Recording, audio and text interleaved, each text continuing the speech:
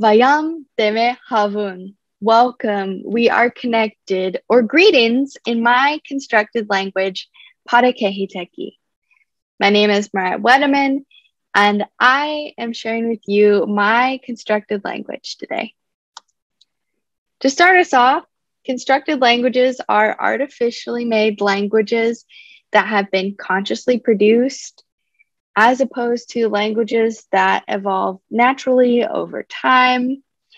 Now, there can be a few reasons for creating a constructed language, one being political aims, such as creating a lingua franca, an internationally used language between countries that don't share one, or they can be made for more creative purposes, like in media. Some very famous examples of those being Klingon from the movie Star Trek or Na'vi from the movie Avatar.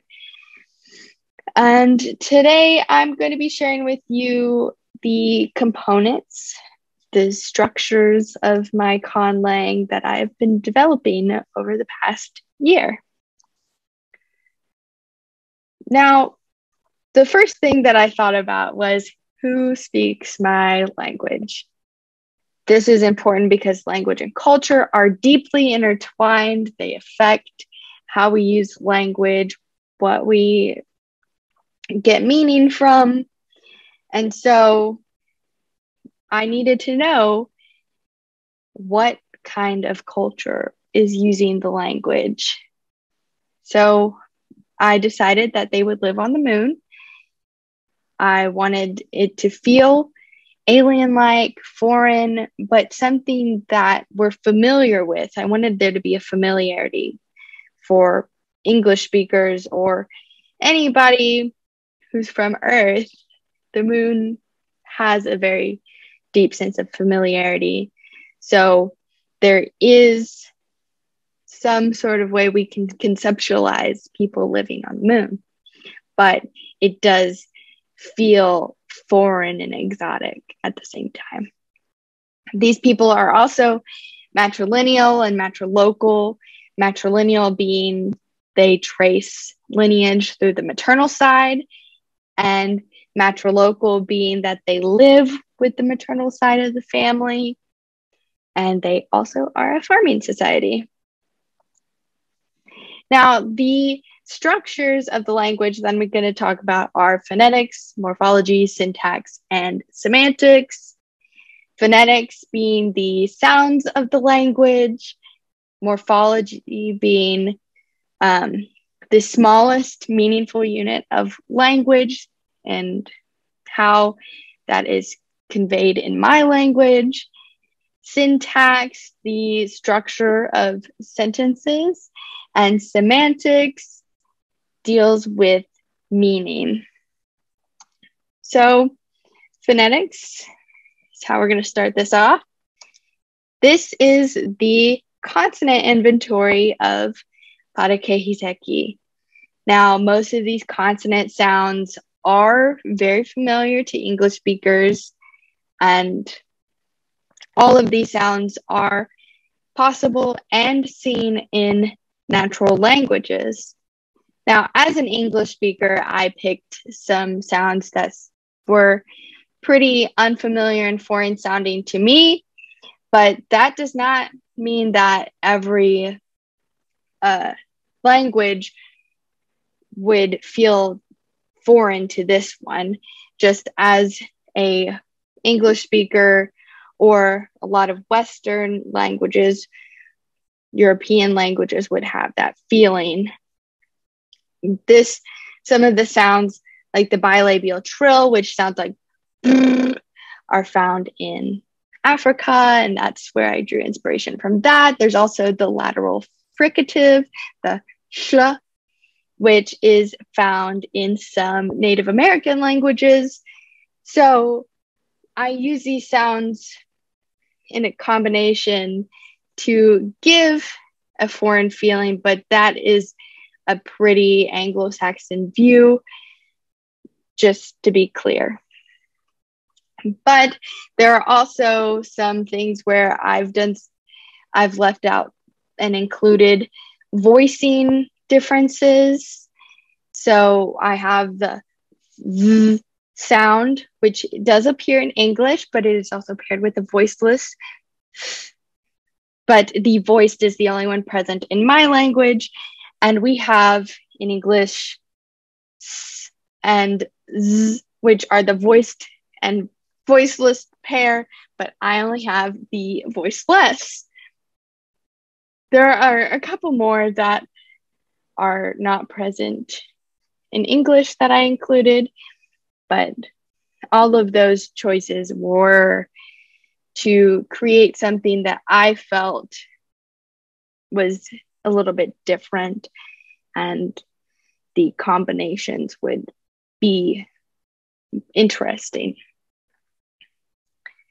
This is the vowel inventory. I have a pretty large vowel inventory with nine vowel sounds. And I wanted to have pretty high contrasting vowel sounds. So I left out central vowels. So there's only front and back vowels, which is about the placement of the tongue in your mouth when making those sounds. And I added a vowel that we don't use in English specifically, which is the high mid front vowel. It's a rounded front vowel, which is not in English. And um, these in combination with the consonants are what I use to make words. Moving on to morphology,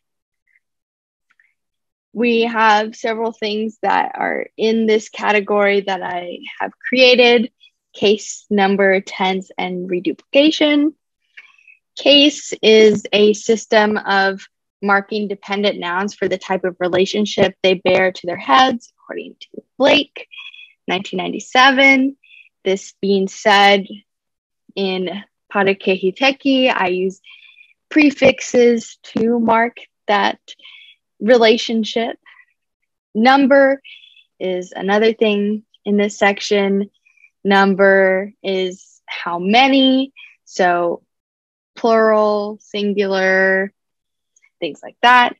Tense, when it took place. And reduplication is the repetition of a whole word or parts of a word to give more information, grammatical or semantic.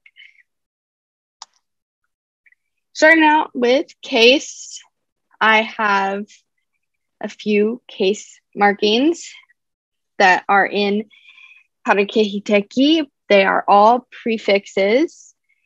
And the nominative case marks the subject in the sentence, and it is marked with the prefix o, o. And so in an example, it sounds like o nido. So that is the subject of the sentence, um, marking the noun boy as the subject. The locative case, so where something occurs, is marked by the prefix da. So da gone at the tree. The temporal when something happened is marked by ina, ina joga at 10. The accusative case marks the direct object of a sentence, and that is marked with the prefix e. So, e machilo, a peach as the direct object. Now, the evidential case markings are not on nouns, they're on um, verbs, and evidential case marks how you know where you got your evidence from. And I have three evidential cases. There are more that can be seen in languages. Uh, this inferential case can be seen in some Native American languages. Um, so I have the inferential evidential case marked by the prefix in. So in this sentence, oren Chima in jake. The in between jima and jake is where you see the inferential evidential, and it's he must have eaten. So there is some circumstantial evidence that is leading you to believe that that occurred. Hearsay evidential marks Kate uh, marks for things you know from hearing it from another party. So they told you. That is marked by len. So in this sentence, oren chimalen jake. So the same sentence.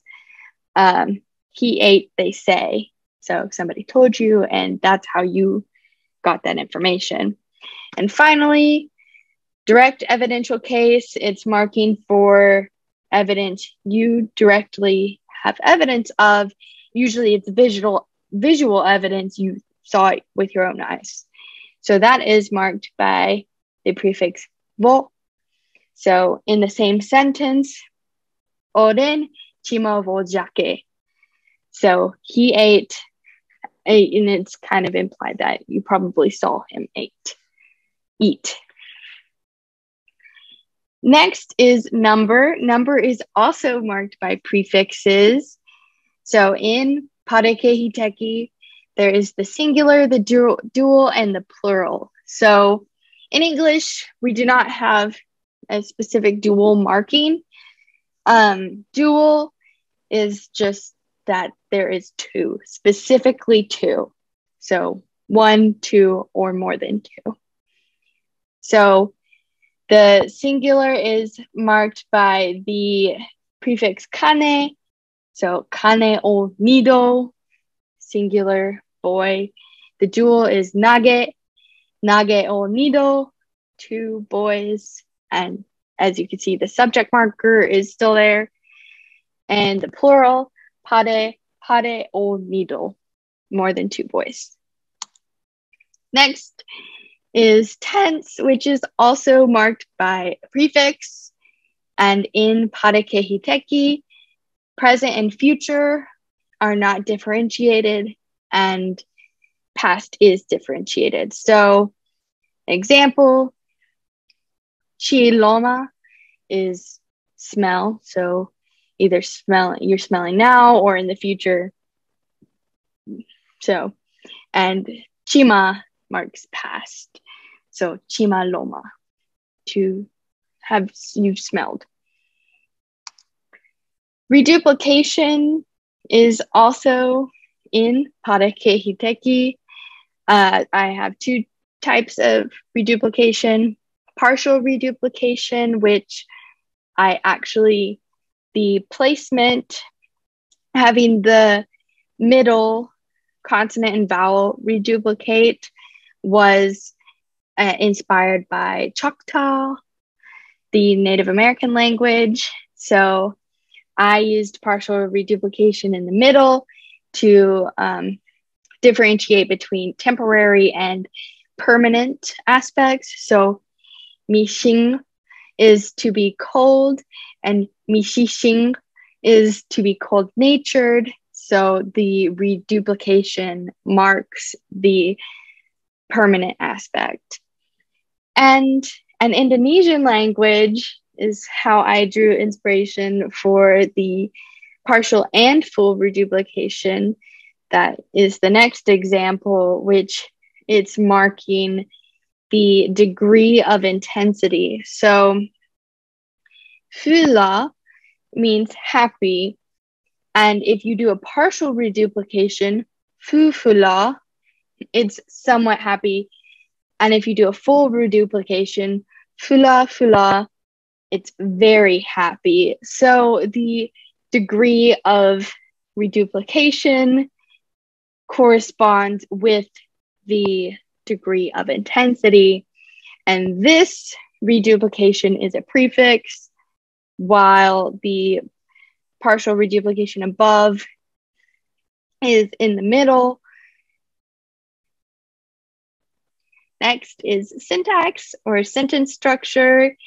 And first, I'm going to talk about pronouns in Pareke Hiteki, this pronoun system is pretty similar to English's pronoun system. There are just a couple differences. One being third person. In third person, there is a distinction between animate and inanimate. So it is there for the inanimate, but there's no distinction of gender between the animate. So he and she are both then, they're both Ren, but uh, it is Muggy. That differentiation is there. There's also uh, two first person plural forms the inclusive and the exclusive. This refers to when you say we in the inclusive, it includes the speaker, the addressee, and potentially others. The we exclusive includes the speaker and others and not the addressee. In Pareke Hiteki, there is a subject, object, verb, word order, and nominative accusative alignment. This meaning that transitive verbs and intransitive verbs, the subject of those is not marked differently than, uh, but the object is marked differently. So in this sentence, opam kane e bubble chima pe, my dog ran. The subject is not marked different that different than this sentence kane o nido kane gone chi akos akos which does have an object. The boy sees the tree. Uh, these other two are just two more example sentences to show the morphology in a sentence. It also gives a sense of the order of the prefix prefixes for the cases. So you can see that the uh, number comes before the case. And that is the word order. We also have question formation. Polar questions are questions that can be answered with a yes or a no, and it is marked with a particle. Now, a lot of there are several languages that do use particles to mark questions, but I drew inspiration from Japanese on this one, knowing that they have a question particle for WH questions. So who, what, when, where, why, how. It's a little bit different. The um, question, there are question words, and the part question particle is still included in there to still mark that it is a question. So as you can see, there's an example with what is the boy eating? Bame kane o nido chi jake nya. That what is the boy eating? The WH question is at the front. Now, for the last section, semantics. So, in my sem- semantics section, I'm just going to be talking about kinship terms. Since um, Padakehiteki is a matrilineal society, I looked at other matrilineal societies that exist to see how their kinship systems work. So, this is the Crow kinship system, which I based mine off of. Now, Crow is a Native American group. And as you can see, the males are triangles and the females are circles. And what's important about the Crow kinship system is that the matrilineal line has more distinction in it than the patrilineal side.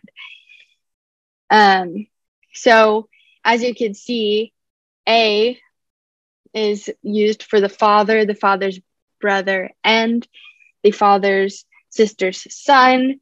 And the word for the father's sister is also used for the father's sister's daughter. But there is distinction. The mother's brother has a separate word and his children have separate words. So I used this as inspiration for my own kinship system. So here are my kinship terms. As you can see, there is not a distinctive word for father's brother or the father's siblings' children, going along with the crow system.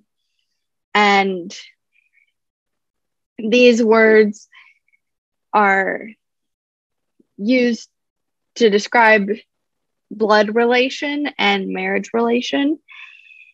And the distinction between generational differences is also only marked on the maternal side as well.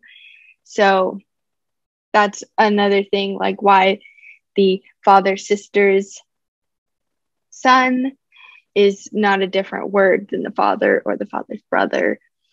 There is not that generational distinction on that side. Hotem. Thank you, health and happiness, or goodbye. Um, thank you for listening to my presentation, and goodbye. It's just a minute over.